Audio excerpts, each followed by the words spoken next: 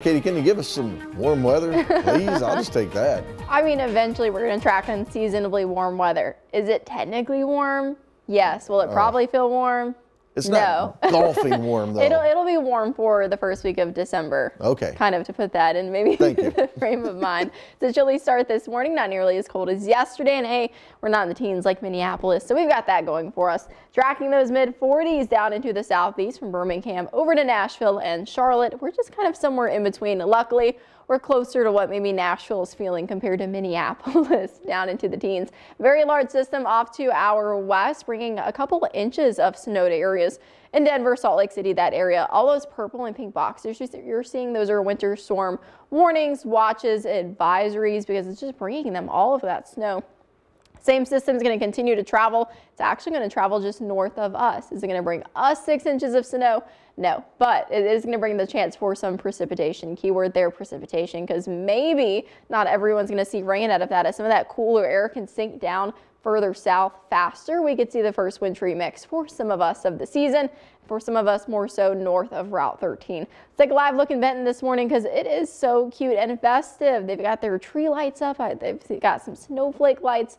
Really pretty out in Benton this morning. Seeing traffic out there, nothing should really slow you down. Weather-wise, we have temperatures somewhere in the mid-30s for southern Illinois, trending a bit warmer down into Poplar Bluff and the Bootheel, still holding on to the 40s, and then Murray not far behind at 39. Clouds are going to stay with us off and on throughout today, kind of build in a bit more around the 6 p.m. hour. Wind chills are staying steady below those temperatures. So at 3 p.m. tracking 47 for a high in southern Illinois, but then that wind chill at 41 thanks to the breeze out of the north northeast. Biggest change you'll feel today compared to yesterday, it's much cooler and it's going to feel much cooler thanks to that breeze out of the northeast. It's a cool breeze that's going to cut right through you. Chance for a wintry mix as we head into this weekend, specifically Sunday. And then as we go into next week, those below average temperatures are going to be sticking around for us. Clouds kind of hanging around early this morning, temperatures somewhere in the mid 30s. As we go into mid morning, you can really see those winds picking up, kind of pushes some of those clouds out of there, tracking some sunshine around lunchtime. Clouds re return at least by the afternoon and evening. And then we've got temperatures, at least those highs we saw in the upper 40s, some of us hitting 50s in the Paducah and Sikeston area. As we head into the overnight hours, we continue to fall. If you're waking up early tomorrow morning, maybe some more shopping, maybe grabbing a tree.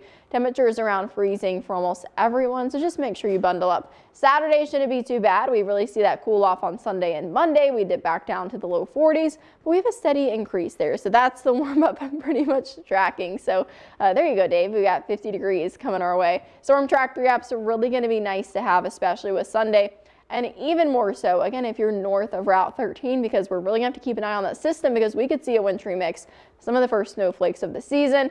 But some good news out of that is it should be low impact, even if we do end up seeing a few snowflakes, a little bit of sleet kind of mixed in with that rain. Black Friday and shopping local on Saturday should be good to go. We're just going to be chilly, somewhere in the mid 40s, tracking low 40s as we head into the end of the weekend and to start the next work week. Next week, not really seeing a lot of rain chances, few clouds, and then the warm up coming in our 10 day forecast. We're going to struggle to get into the 40s on next week. I know. Oh my goodness. All right. well, let's not look ahead too far, but we are going to take a look at the stories working on for the 6. Plus, we're going to have those Friday morning sports for you when we return. Stay with us.